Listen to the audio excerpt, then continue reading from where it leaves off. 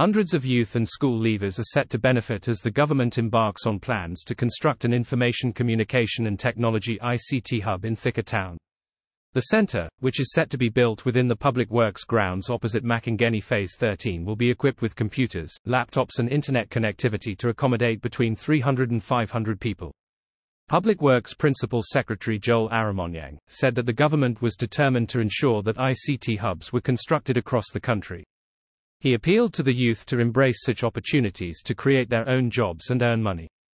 Area MP Alice Angar assured residents that funds for the construction of these ICT hubs were available and the construction works will kick off soon. She also appealed to the youth to embrace new technologies as they searched for job opportunities, noting that so many young people were earning a lot of money from digital job openings. Uh, this place uh, hosts a number of entities. Of course, we have uh, KeRRA KURA, we have uh, Public Works, and uh, we have come just to assess the land and where we can uh, possibly put up that ICT hub in this constituency.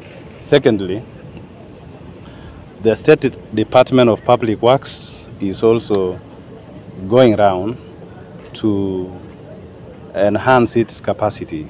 First, the technical officers of the State Department of Public Works helps the entire other entities in support to support their the designs, designs and supervision of their projects. We are happy that uh, uh, the, the, the, the, the approach which is being used now, a whole of government approach, will be able to solve some of the, the challenges that takes time. Because for, for example, if we work with MPs, with their, the kitty, the money they have, the MP has confirmed that the money is there, so ours is to give the technical, the technical support. Even the ICT hub which will be coming, yeah. Public Works will be involved in the supervision and uh, yeah.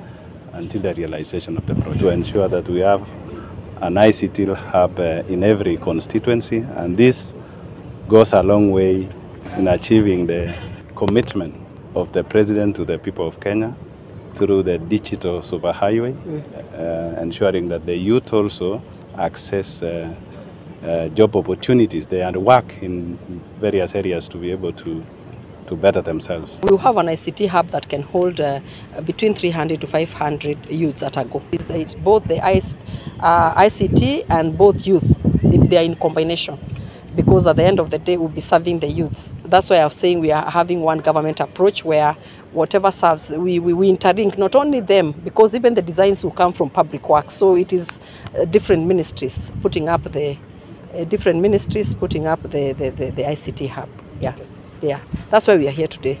And that's why the PS came so that we can see what, the ideal place to put the ICT hub. I was requesting PS whether I can have a, a small piece of land where we can put our ICT hub.